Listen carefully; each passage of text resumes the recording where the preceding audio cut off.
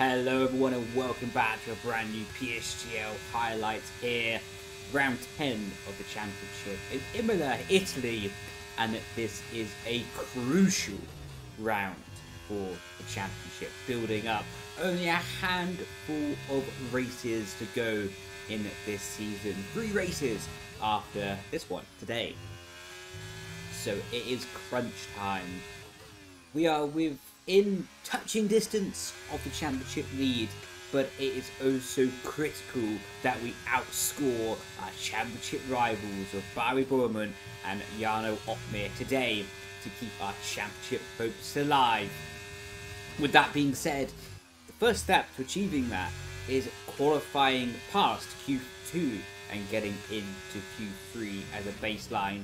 We're here on my first new tyre run in Q2, going through the chicane. It's going to be absolutely pivotal that we hook it up and can give ourselves a good opportunity to be through to Q3 and not put too much emphasis on the final run being needed out of the final corner. Opening DRS runs our line, and that is provisionally P3 going across the line. But as it drifted on later in the session, that P3 became P6 and became also half a temp up on our delta, running through the chicane, critical to pick up the traction. We lose a little bit of time relative to our past lap, but Marcel Kiefer goes for a stonking lap actually and goes top of the timesheet, shortly beaten by Otis Lawrence. We're coming through the final corner, hard back on the power. Half a temp up with the Delta. Where is this going to put us? Are we going to go into Q3? Yes, we are with a 13.0. That is exactly what we needed. And now we're here in Q3. We're going to send it. We have to send it. I always want to be transparent. I always want to be honest. In qualifying preparation, building up this race, we were lacking pace. In specifically turn one and the final chicane, uh, well, the chicane in the final sector, I could say, we were losing tenths on that chicane in the final sector per lap. We just couldn't get it hooked up with the curb, so we knew if we wanted to charge a pole position, we're going to have to PB. We have to PB once again, and we're going to have to put it all on the line, have a chance of pole position, and be fighting at the top in Q3. That being said, end of the first sector, coming through. We go purple in sector one. It's critical. It's a point four in the first sector. We're picking up traction out of the hairpin. It's been a good lap so far. Coming up into the left-hander, throw the car in, use up all the track on the inside and outside into Acque Minerali. This lap has been fully committed so far, leaving nothing on the table. Right up the curves, right up the white line, coming up to the chicane and we're going to send it in late on the brakes and we cut the corner just a little bit too much. It's even painful to look back, watching back now. Um, yeah, we were sending it. We tried everything. Uh, like I say, we were lacking qualifying pace coming into this round. Sometimes even being two tenths a lap slower than our teammates. Um, so it was so critical and so pivotal that we put everything on the line and tried to drag something out of it, but we just didn't quite get the, the chicane hooked up on that lap. But with that being said, we've got to go for it again. The last lap, up until the chicane, was pretty much ideal for us. Um, it'll be pretty difficult to find lap time relative to that, that delta that we'll have, but that doesn't stop us trying. We're gonna absolutely give it everything. Absolutely everything. We're naturally as a driver, naturally as a competitive person as well. We have to give everything, and we will give everything. We're going to lay it all on the line as we're coming down into the first chicane. Late on the brakes, you can see we get the first curve, get the second curve, and we do not get the same quite good exit as we did before, but still we're on for a good first set sector split relatively through the left, through the right, picking up the curves. And we're almost a temp, we are a temp down now. This is not ideal, into the hairpin, and now we just got to go hell for leather. We're one temp down on the delta. We just, all, all cards on the table now through the left-hander, hard back to the power, gaining some more time through there. That was fully committed into Acque Minerali. We're going to send it through here, and we just open up the track a little bit too much and invalidate our lap time here in Q3. So, yeah, we're just pushing too much in this game because the lap's invalid, so we didn't really care too much anymore. But that's going to be P10. Considering where we was pace-wise at the start of the day, P10 is not a bad result, relatively. Disappointed, of course, because we always want to be on pole position, but now we have the race to rectify that. Five lights. Lights out. And away we go here. We actually got held for quite a long time, and we're on the hard compound tyres. All the cars ahead of us on the mediums, and most cars behind us on the hard compound tyres. Apart from Wilson Hughes on the soft compound tyres, going down to turn one, just minding my own space, looking up at my front wing, trying to get a good exit. You can see Marcel Kiefer gets a little bit of wheel spin coming out of turn two. Everyone deploying their battery around us, whereas we're just choosing to save ours. You can see we're being very conservative right now, as I knew there was not really much point to attack these medium drivers ahead of us, and you can see Wilson going down the inside of Tom Manley, and that's just a little bit of racecraft there, leaving the inside open for Wilson. I knew he was not able to get past me on that corner, it was too far back, but opening up the corner, leaving a bit more room on the inside, just lowers the chance of him clicking me into a spin. Uh, so that's a nice little tip for you league racing at home as well. And these situations on lap one where it does not matter too much, uh, if you leave the car's width, it doesn't cost you too much race time, definitely do it because it can help you not be spun around by the car behind. Wilson was all under control though, so I doubt it would have happened, but it's always better to lower your chance of it happening anyway. Coming towards the end of sector uh, sector three, I should be saying, lap one, and we are still in P10 and Wilson Hughes on the soft compound tyres. We're not going to fight him. We're not going to use our battery down the pit straight. We opt just to let him past us on the pit straight so we can live to fight another day.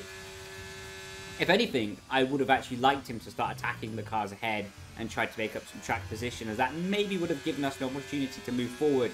But with that being said, Wilson was not able to make any inroads to Marcel Kiefer. So we're all over the back of Wilson. But we have been saving our tyres, saving our battery, and preparing for the long game, the long plan, and what we can do later in the race.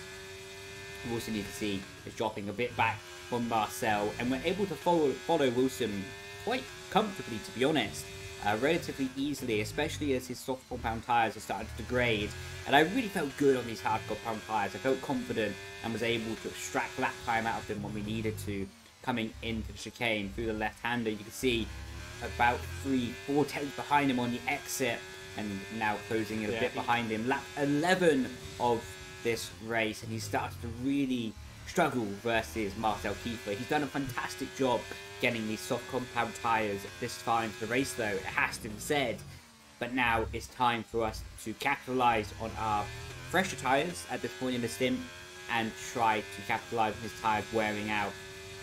So he's starting to fall away from the DRS zone of Marcel Kiefer. So now it's crunch time. If we're going to make inroads in this race. We have to clear Wilson Hughes. But that being said, Wilson Hughes reads our mind and we're able to get past him as he dives into the pit lane. And now we're closing down to the DRS zone of Marcel Kiefer coming towards the end of the second sector split. You can see before the lap it was 1.4 seconds and now it's down to 1 second, 9 tenths as well on the exit. So we are going to be picking up the DRS zone and this is going to be super critical for our race as well to not leave us vulnerable to the cars behind. Speaking of cars behind though, Alfie Butcher will be a really critical part of this race. You're going to see us working in unison quite a lot later on in the stint. We knew that we didn't want to battle. We had to use each other in the DRS zone to help each other along and close into the other cars. You see Daniel Bereznay and Jarno Opmeer up ahead and we're going to let Alfie Butcher go past on this straight as we were talking about with the DRS. So now he can pull us along a little bit. We can save our battery. You can see now, lap 15, we have caught the back of Bereznay, and Bereznay has just dived straight to the pit lane and left Alfie in front of us, with Jarno Opmeer leading the race at the moment on his medium compound tyres. We'll go into the hard compound tyres later, but that being said, Jarno has now made his pit stop, and we are DRS leaping past Alfie Butcher into what is a temporary race lead later on in lap 18. We have decided that this will be our in lap, this will be our box lap, and now we're going to be putting on a juicy, fresh, sticky, warm set of the medium compound tyres, and I was so excited to get these tyres on in the race. I like the hards. The hards were going very well and we had really good pace in them. But this game, more than ever, when you put a new set of tyres on, you can feel the grit. You go two seconds a lap faster. Can I have a general race more. update? And you can hear me just asking for a general race update. If there's like The any cars with damage or not, if you know. Have not already gone past us. The leaders are already in the first chicane, and Jarno Opmeer, who were chasing down earlier in the race, has already gone past us as well. Same as Daniel Bereznay and Philippe Polischneider. Lap 20, you can see we've got a lot of battery and we opt to let Alfie Butcher go past us on this straight. We could have used battery to defend, but we decided it was better to save the battery for a later point in the race. Speaking about later point in the race, we're on the back of Alfie, on the back of Philippe, and we're going to go for a two for one down the pit straight. And now this is where our race is going to come alive. Lap 21, 2.1 seconds to Daniel Bereznay at the start of this lap, and it is a race critical. Opening up DRS across the line, and we don't go purple, purple, purple, but we do go purple, purple, green for a 14.9, fastest lap of the race so far. And now we're in the DRS zone of Daniel Bereznay, and now we are basically in the train for the lead of the race. Although we've got a lot of cars to pass, we are effectively in the same DRS train as the race leaders. With that being said, though, it's now time to get past Daniel Bereznay all over the back of him. We cannot wait the lap. We cannot wait for the DRS zone. We have to utilize our fresh tyres, our fresh traction, our fresh grip, our battery, and doing that, we're going to go past Daniel Bereznay on the straight up over the hill, and we get the move done. And now we have a bit of clean air heading into Acque Minerali. 1.2 seconds to Jarno Opmeer up ahead, who's chasing down Wilson Hughes, who's on very worn set of hard compound tyres now. We've closed two temps in Acque Minerali alone, and now going through the chicane. We have to nail it. We have to make sure we get the DRS zone at the end of this lap. And you can see we do nail it indeed, and now we have taken four temps out of Wilson Hughes in that one chicane alone in the DRS zone now. We haven't got that much battery relatively. Uh, we had to use quite a lot of battery to sort of catch up and get past Daniel Bereznay, but we do have a massive tyre advantage. And now you can see Wilson Hughes has started to attack uh, Buki up ahead in the Aston Martin. Buki got a bit unfortunate with his timing, so he did not have the DRS down the pit straight, and now side by side, going around the outside. Wilson Hughes has to back out of it. We get a phenomenal run out of turn one. We duck the inside, now on the inside of Wilson Hughes, going into left-hander with our fresher medium compound tyres. He tried to hang around the outside, but wisely backs out of it. So that's one move done this lap so far on the back of the Aston Martin. We pick up phenomenal traction, sliding around a little bit actually in the dirty air, but now we deploy a bit of battery and now we are up and past the Aston Martin. Our championship rival, Jarno Opmeer, is up ahead of us. He's only something like five points ahead of us in the Drivers' Championship going into this race, so it's critical that we get past him Bari Broumand, who is leading the Drivers' Championship, is behind us. In fact, he got taken out quite unfortunately on lap one. So this is a great opportunity for us, to be honest, to try and close in on our championship rivals and put ourselves back in this championship fight. Jarno Opmeer, Thomas Ronhaar side by side through the final corner. We get phenomenal traction, and of course, well, Thomas is our teammate, so we don't really have to deploy much battery to get past him on this straight.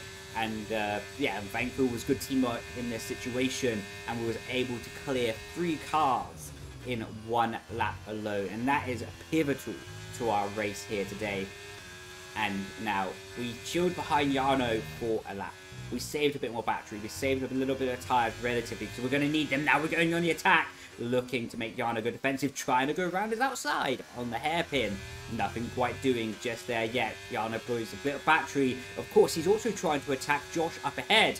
And as I said before, and I cannot emphasize enough, this is a championship battle between myself and Jarno. It's pivotal that we try and score more points than each other in this race. And now we're in the slipstream. Jarno's going to look down the inside of Josh. We read the situation. We break early. We set ourselves up for the perfect exit from the chicane. Now we're on the inside of Josh, on the inside of Jarno, and we get two for one in that overtake. And now we're ahead of our championship rival. And now we have to make sure we nail this final two corners. We will not have the DRS from the cars ahead. So we have to nail these final two corners, get phenomenal traction. And that's what we've done. We are ahead by eight tenths of Jarno. And this will give us enough room to not be swamped by cars on this straight. You see Jarno and Josh are still fighting down into turn one, but that doesn't bother us. We have the line, we have the position, and now next up on our radar is Otis Lawrence. The race is starting to come towards a close.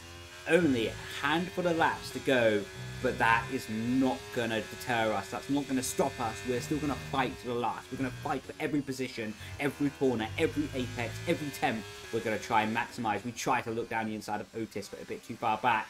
And you can see starting P10, being down at P13, coming out of the pit lane, and now we're in theoretically the fight for the race win. If everything goes right for us, we can be winning this race, but it's going to be difficult. All the drivers ahead of us are phenomenal. They're amazing talents so they're not going to make it easy in the slightest and we're going to have to be very smart. We've got limited battery from the amount of overtaking we've had to do a lot of cars ahead of us. Basically have 100% battery that they've been saving it all in this stint. So we have to be smart, we have to be tactical and we have to get these done in the braking zone. Speaking of the braking zone, Otis goes defensive but we go all the way down the inside, late on the brakes, sliding into the apex and we have got the move done into P5 and now next up is Marcel Kiefer. We don't have much battery. We don't have the opportunity of the straight lines that the other cars do right now. So we're going to have to be creative on the corner. You can see my battery is draining quite a lot. We're trying to cool down our engine on the straight. You can see Marcel gets held up by the cars ahead in the braking zone. We're all over the back of him. 1.7 temps to a theoretical P4 position in this race. Through the left-hander through the right-hander. We get a good run out of there. We look down the inside. Marcel goes a little bit defensive. We send it down the inside. Room is given. And on both sides of us, we can see we raced side by side. No contact there. It was beautiful racing between the two of us there. And now running up over the hill. I knew my chance was fading, my opportunity was going away, so we had to get this move done quickly before my tyres would start to fall off the cliff and now exit Acque Minerali, deploying what we have left of the battery to try and get this move done down the inside. We keep it controlled underneath the brakes, you see side by side, and a little bit of a tap to Marcel, so apologies for that one. Um, but yeah, we talked on Twitter after, it's all good.